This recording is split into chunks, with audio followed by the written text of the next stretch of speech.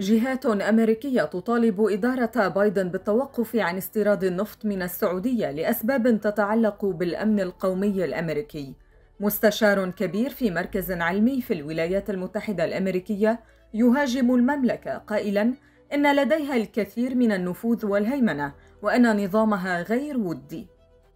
وقعت جهات ناشطة في المجال البيئي في الولايات المتحدة الأمريكية عريضة قانونية طالبت فيها الرئيس جو بايدن بحظر جميع واردات الوقود الأحفوري من السعودية.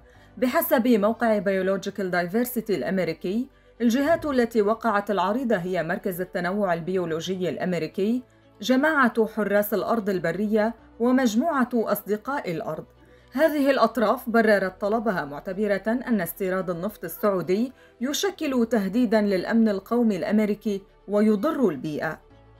في العريضة رأى الموقعون أن النفط الذي تشتريه واشنطن من الرياض يؤمن للأخيرة إيرادات هائلة يمكنها من ممارسة تأثير كبير على مفاوضات الأمم المتحدة المناخية الحاسمة للتخلص التدريجي من الوقود الأحفوري. كما لفتت الجهات المسؤولة عن العريضة إلى أن إجمالي الواردات البترولية في الولايات المتحدة لا يشكل سوى 6% من إجمالي الواردات من البترول.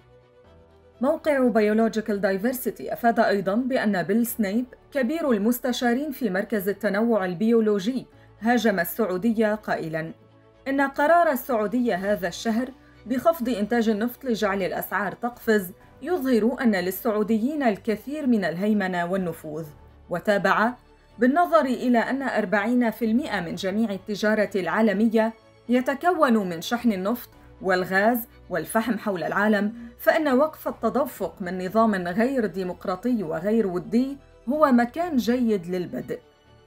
كذلك اعتبر جيريمي نيكولز مدير برنامج المناخ والطاقة في جماعة حراس الأرض البرية أن التخلص من النفط السعودي ضروري لأمن أمريكا القومي ويعزز الديمقراطيات في جميع أنحاء العالم. نيكولز أسند فوائد إضافية لحظر استيراد النفط السعودي قائلاً: ذلك يقربنا من التخلص التدريجي من جميع أنواع الوقود الأحفوري، كما نحتاج إلى القيام به لحماية الناس والمجتمعات والحفاظ على كوكب صالح للعيش.